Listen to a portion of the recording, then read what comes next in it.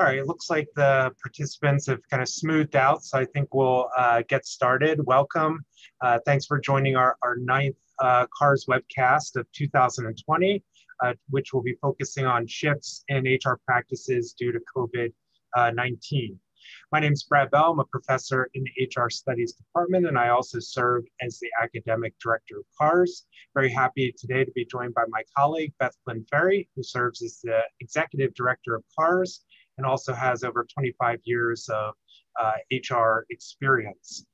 Uh, the most prevalent HR operating model has been in existence for some time and is, is by far the most dominant model today, which we're all familiar with, is consisting of uh, shared services, centers of excellence, uh, and the HR business partner.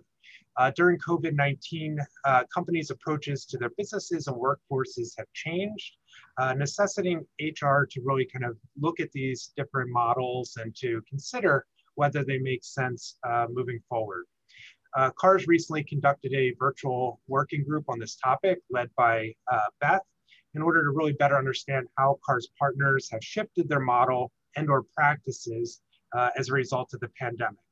So the goal of our webcast today is to share out some of the uh, findings uh, from that uh, working group, as well as to engage you in some discussion around some of the changes that you're seeing in your own organizations. So just to give you a kind of preview of what we'll be doing over the next 30 minutes or so, I'm gonna start out by uh, engaging in a conversation with Beth, asking her some questions about some of the themes that emerge uh, from the working group. I'll also add some insights of my own uh, based on some working groups that we've done recently around uh, topics such as remote work uh, and employee health and well-being. Uh, during the discussion, please submit your questions uh, and comments. you can do so through the question and answer button that you see at the bottom of the webinar. Uh, some of these we might tackle as we go through uh, the discussion, but we'll certainly leave some time uh, at the end to engage in some, some Q&A. So with that, uh, Beth, again, thanks for joining us. Um, you know, originally this working group was really slated to focus on kind of the HR operating model and how COVID has impacted it or uh, driven changes in it. Um, so what did you actually find as you engaged in the working group? Yeah, thanks, Brad. It's great to be here today. Thanks, everybody, for dialing in. Um, you know, it, it's interesting. We uh, periodically take a look and reach out to our partners to say, you know, where are we with that um, illustrious three-legged stool and how's it changing? And we thought with everything going on with COVID, this would be a good time to, to revisit that. Um, and while COVID, you know, really gets the lion's share of attention this year, um, the pandemic's really only one of many destabilizing crises for for our CAHRS companies. So you've got the natural disasters, fake news, protests, mental health challenges that have all affected our employees. Um, and despite these hardships, this year has also been one of rising to the challenge for companies with HR at the center. So really proud of our, our companies and our teams there.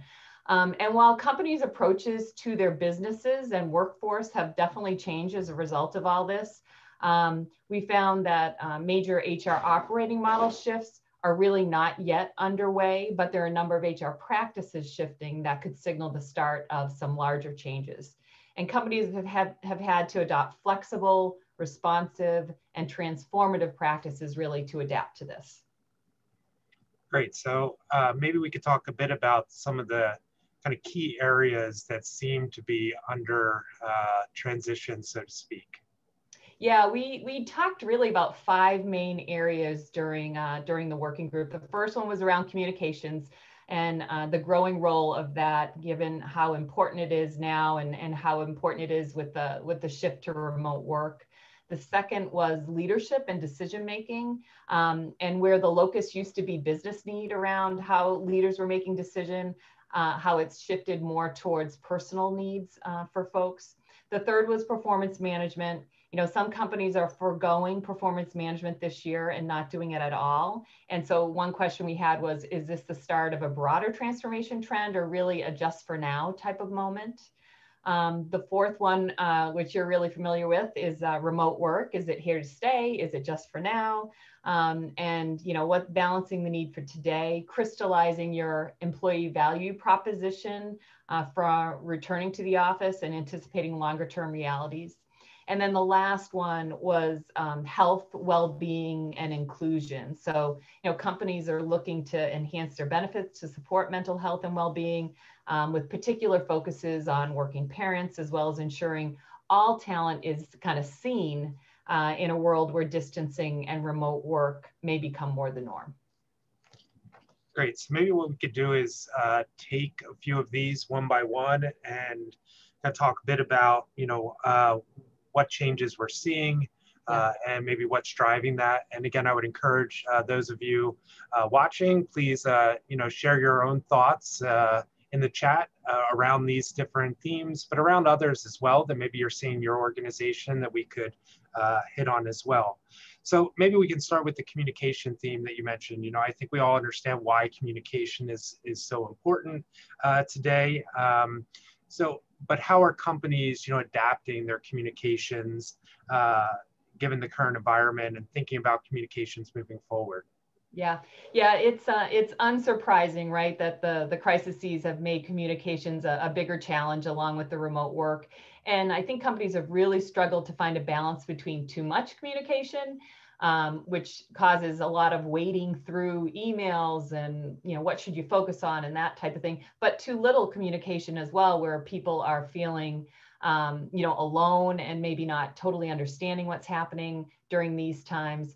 Um, uh, so you know it's really kind of finding striking that balance between uh, repeat messaging, over communication, and, and striking the right tone.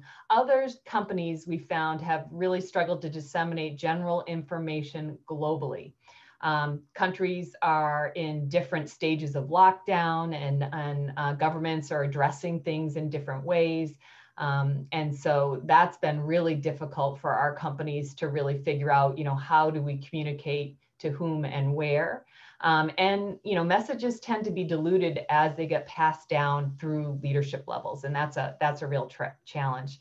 So at the beginning of the crisis, as you would normally expect, you know, we're all looking to our leaders um, and our companies focused really on top down direct communications approaches. Um, and I believe that certainly is was the right approach at the time to kind of have that one message delivered from, from the top and then, you know, everybody hearing the same thing. But now um, companies are really shifting towards a more bottoms up approach.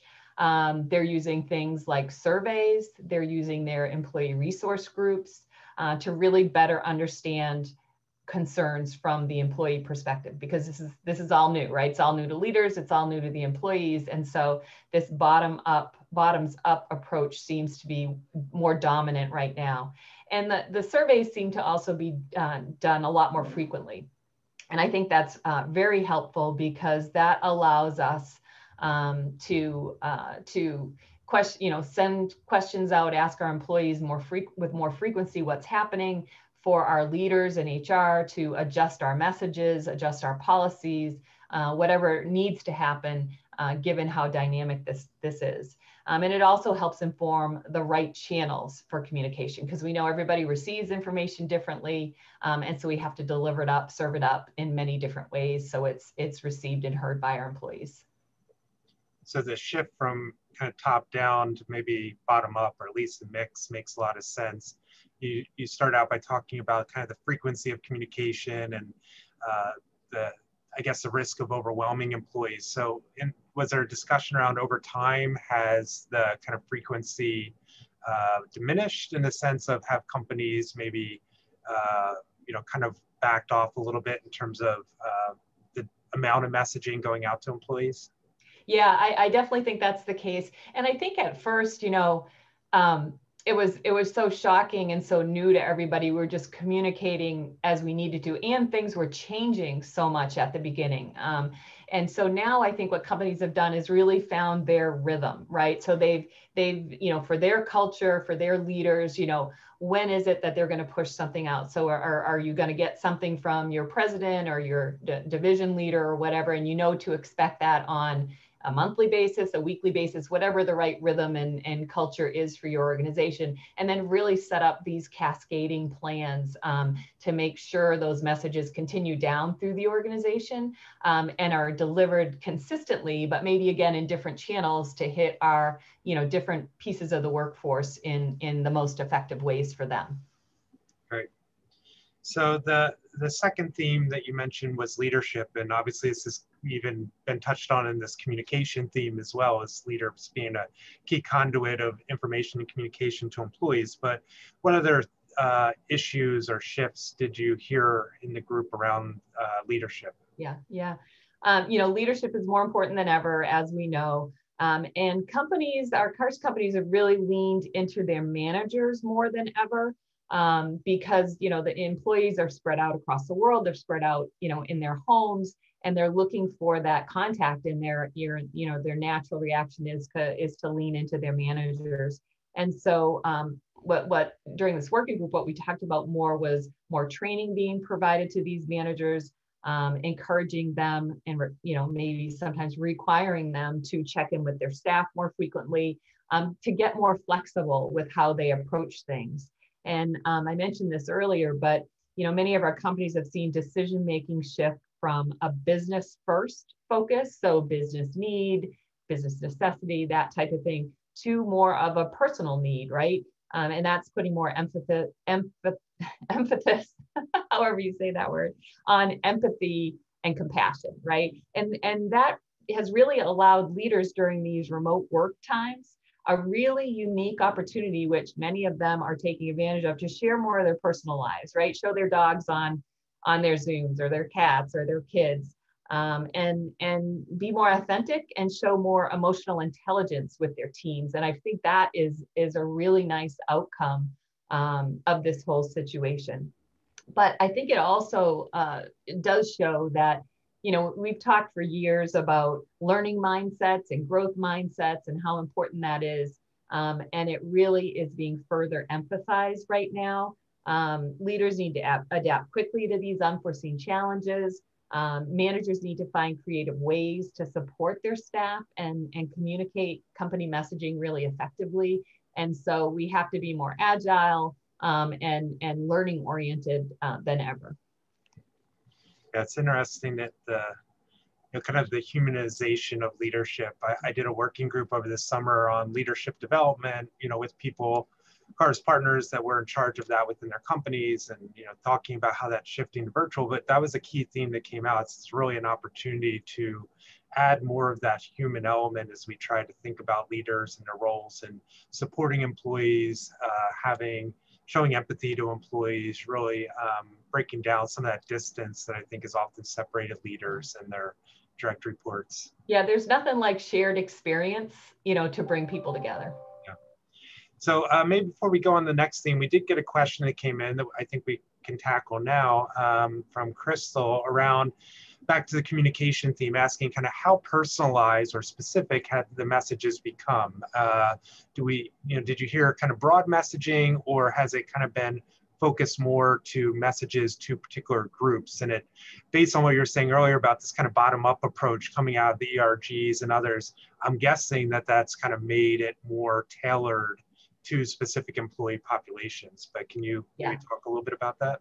Yeah, uh, we didn't get into too much depth here, but definitely, you know, when it was leader-led communication from the top, those were very broad, uh, sweeping messages. Um, and uh, you know, I, I and as thing as things have evolved, certainly things have gotten more specific. I I also think that you know, with this lean into manager type of thing, our managers have, have gotten more skilled here, right? The HR teams have helped them be more skilled and to think about not only um, expressing that that centralized general general message that they're hearing from um, the more centralized groups or from the higher level leaders, but to then put their own lens on it to say, okay, if, if my workforce is on the plant floor, you know, how do I need to take that message and, and shift it or, or apply it more to what's happening within that group? And the same for, you know, headquarters groups, um, you know, marketers or, or, you know, support staff type of thing. And so I, I really think we heard that our managers have grown in this respect. Um, the expectations are higher, that they are doing that, that kind of thing, and, and they're getting better at it. And again, as you mentioned, Brad, um, with the, the bottoms up approach with, with them being more informed by, hey, here's what our parent ERG is saying about their struggles. I think they, you know, they feel like they, they again are, are learning and are more educated and more able to uh, to help apply, you know, those communications more broadly. Great. Thanks for the question, Crystal. another one just came in from Prasad. Uh, can you share an example of a shift in decision making to focus on personal need? And I know later we're going to, you know, hit on this theme of uh, employee uh, health and well-being, and you know, we did a recent working group on that, and I think that was a central theme that I heard in that working group was. You know, every group and you know, to some extent, almost every employee has their own individual challenges. They have their own needs. You know, so really, this idea of you know, we need to be careful not to fall in the trap of a one size fits all approach as we think about you know providing support and services and programs to our employees but really kind of recognizing that the needs are often going to really differ across employees and address those more at the individual than kind of the organizational level but i don't know if any examples maybe came up in your discussion. Yeah the really the really easy uh, example is flex work arrangements. Um, and you know it used to be that um, yeah as employees applied for those types of things they had to show how they met a business need. Um, and nowadays it's more about you're personally driving that. So for example if you've got kids working from home if you're caring for um, for uh, sick sick folks in your house or, or something like that you know your workday may have to be scaled in a different kind of way. And in the past it would have been taboo to ask for that based on those personal circumstances. And today uh, that's shifting. And and businesses are realizing you know what?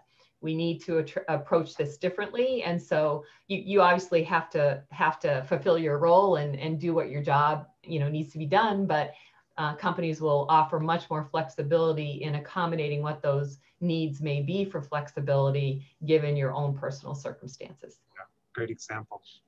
So we had another question come in, which actually is a good segue to our next theme around performance management. Uh, the question is really, you know, this idea that some companies are maybe foregoing it, uh, you know, performance management in the near term, which is certainly an interesting trend, and I guess raises a question about is that just a kind of temporary pause, or maybe is that uh, harboring of you know things to come? Uh, but maybe you could talk a little bit about that issue as well as others that you heard in the working group around uh, how companies are addressing performance management in the current context. Yeah, yeah. You know, pre-pandemic, we were all talking about performance management. You know, a few years back, and and uh, companies moving to no performance ratings and and those types of things. Um, most CAHRS companies that were uh, part of the working group had left their performance management processes, and I emphasize that, largely unchanged, right? You know, if you think about a, a, a model and when you should change things, certainly external factors are uh, a part of when you do that, but I wouldn't say that in the midst of those external factors, you should really look at overhauling your whole performance management system. Um, and so the, the fact that these CAHRS companies um, were largely unchanged, I think is, is the right approach given, given where we are right now. Um, the bigger challenges, though, for companies have been, you know, how have they been impacted by the pandemic from a financial sense? So, for example, you know, some companies are vastly exceeding their financial expectations, right, due to the products they provide and the services they provide, that type of thing. And of course, others um, are underachieving due to these unusual circumstances. And so, really, what's happened, um, the, the discussions have really focused more on the impact um, to you know the external market impact to their internal reward systems right? Pay bonuses you know those types of things. And so um, so so obviously you you probably are at two two different extremes. If you have financial constraints you know you're not going to be giving bonuses. Um, and and one thing we talked about there then was okay how do you keep morale up? And how do you emphasize why performance management is still important during those kinds of times? Because you know, many of our employees, unfortunate uh, to us in HR who are, have been trying to separate this, they only see it as a pay mechanism, right? As opposed to a, a feedback type of um, mechanism. And so, so those were some of the struggles that, that were, were brought up. Um, others on the other end of the spectrum who have um, really benefited financially during these times have talked about, okay, what are the temp temporary types of things we need to look at adding for our workforce during this time and, and emphasize temporary because they don't necessarily think these market dynamics are going to last a long time. And so, again, you don't want to shift your whole performance management system right now, but you do want to look at you know, uh, flexibility due to COVID related factors with bonuses and time worked and hazard pay and, you know, all those, all those kind of things. Um, and so, uh, so I think you just do need to be really careful and think more about um, how long is this going to last? What's the real impact here? And, and what should that mean? And how we think about um, reward systems. And I think um, as we do go forward, companies um, will really have to focus more on the feedback aspects. So we've never been great at that, you know, and, and certainly uh, in the performance management discussions we had pre-pandemic, um, there was a lot of, of focus on more frequent, informal uh, feedback as part of performance management. Um, and now we need to add in the remote aspect, and we also need to add in the fact that, you know, who do you solicit feedback from? Who are people interacting with? How do you get that information? And what are the things we need to do to, um, to ensure people are getting the feedback they need uh, going forward? So that's where I think we'll focus next. Great. So uh, another question came in from uh, Kathy at Corning, uh, kind of touching on another theme we were going to hit on around kind of remote work, flexible work, um, kind of asking the question about what's the ROI, the kind of cost benefit of allowing more flexibility from working from home. Kind of notes that, you know, uh, in their organization, uh, there's about 80% of employees that need to report to a, a factory, uh, right? So uh, how do we um, kind of evaluate this? Uh, you know, maybe I'll start, uh, Kathy, just in terms of, you know, I'll speak to kind of what we know from research, right? In the sense of there's been a lot of studies looking at flexible work and uh, in particular kind of remote work. And what they show pretty conclusively is, um, you know, a positive effect on employee, you know, performance, right? So it's not a huge effect. Uh, I would say in general, we see effect of maybe five to 10% kind of increase in employee performance. Uh, you know, working remotely as compared with similar employees uh, in the office. We also see a number of positive benefits in areas like ability to manage work-life conflict, uh, employee satisfaction, reduction in turnover, which all kind of contribute to that uh, positive ROI, I would say. Say the one downside, at least from an employee perspective, is the idea that we know that employees that work from home or work remotely are less likely to be promoted than their kind of in-office colleagues, kind of the out of sight, out of mind uh, phenomenon, uh, which is something I think organizations really need to be conscious of. But I think you raised an excellent point, which is, you know, in the current environment, I think we've kind of fallen into this trap of thinking, well, everybody can work remotely because most people are. Oh, my light's going off. uh, but you know, we know, I think I saw a recent statistic that 70% of, at least in the US, 70% of workers really can't work remotely, right? Because they need to be on site to perform their jobs. So I think there we could think about, you know, is there an opportunity for more ad hoc flex work and, and other forms of flexibility that might not be uh, full time or even, you know, more intensive types of, of remote work that still maybe eliminate that have and have nots kind of phenomenon that you're referring to. Beth, I don't know if you have kind of other thoughts on this. Yeah, you know what? I, I this is always a struggle, right? I worked in manufacturing for a long time, and you always wanted, you know, to seem equitable and fair, and you know, have the same things for for everyone. And and the reality is that's just not possible in in some of these environments. And so um, I don't know if we should get to a more candid conversation around, you know, what is different and what is good and what is bad, because you know, working remotely. Um, you know, everybody, it sounds so sexy, right? You want to do it. You want to have that flexibility and work remotely. But I think you'll ask a lot of people now that have have been working virtually for so long and they want to get back to the office, right? And so it's it, the grass isn't always greener. And and I, I think that is hard to, you know, hard to put out there. But I think recognizing the pluses and minuses of the different environments and then rewarding people for what they're doing. So in, in manufacturing these days where they are heading to work, um, they are, you know, risking taking some risks and doing that. Um, you know, giving those ad hoc bonus payments or, or, or, other types of things to recognize how their work is different and how, um, you know, and and and and rewarding them for that, and at the same time, you know, doing that for folks uh, working remotely. So it I'm not saying it very well, but it, it is just recognizing the differences, owning those, and then rewarding people for those. And at the same time, trying to open up and be a little bit more flexible where you can. You know, we've all seen that you know many of the the myths we've held in our own minds around well you can't really do training remotely well well yes we can and we are and so you know can we apply any of that to the to the manufacturing setting as well yeah i saw i mean to your point beth i saw in your notes from the working group that there were a few companies that were really kind of looking at almost every job to evaluate you know how good of a fit is this job for remote work and you know working with some companies even pre-covid that had big remote work programs. I would say the best ones were those companies that really had these very systematic processes for evaluating is this a good fit for the individual? Is this a good fit for the job, the team, and ultimately the organization? And I think if you could do that and you have a really procedurally fair process, so to speak, that evaluates it, I think you can maybe uh, prevent some of those have and have not feelings because people understand the rationale behind the decision decision making. Yeah, yeah.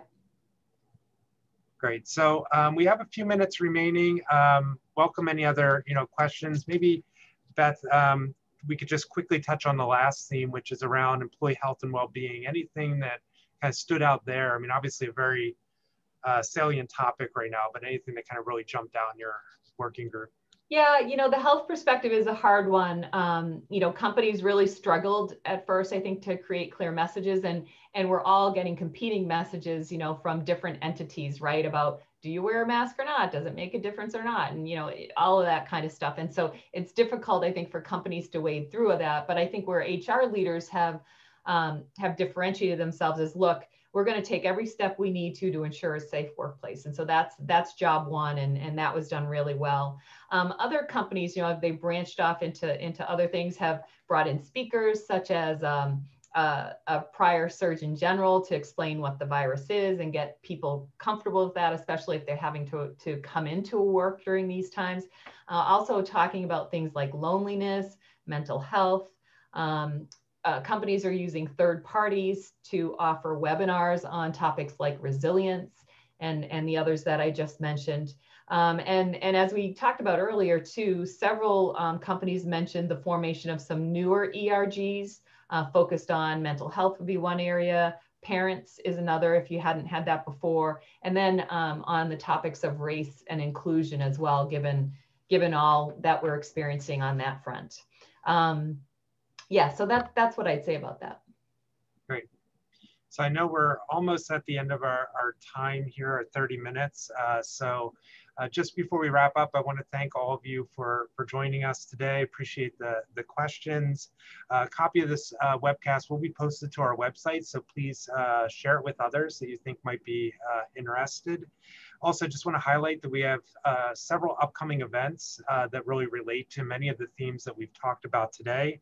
So we have two more virtual working groups planned for this fall. On November 5th, uh, I'll be running one focused on uh, disruption and its implications for talent strategy. So how are companies rethinking talent uh, in the current environment? Uh, and then on November 19th, Beth will be doing one focused on the changing environment and its impact on the HRBP role. So please consider registering for those. Uh, also, our partner meeting uh, this fall will be virtual as opposed to being on campus, um, which is great because as many people as uh, uh you want in your organizations can attend. And it'll be a two-part meeting this year. Uh, with one session focusing on kind of remote work and how companies are thinking about remote work and flexibility, uh, not just now, but also in the long term. So Kathy, that might be a good one for you based on your question. Uh, but also on December 8th, we'll be doing another session. We'll focus on uh, employee health and well-being, and in particular, the role of leaders, uh, you know, in kind of managing that. Uh, these will be informed by research that we've been doing through CAHRS this fall, as well as we'll be featuring a few of our CAHRS partners that we think are doing some really innovative uh, things in this uh, space. So December 1st and December 8th, you can find more information about all of these events on our website. So please uh, check that out, register for any that are of interest to you, and hopefully we'll see you at a future CAHRS event. Thanks again for attending today.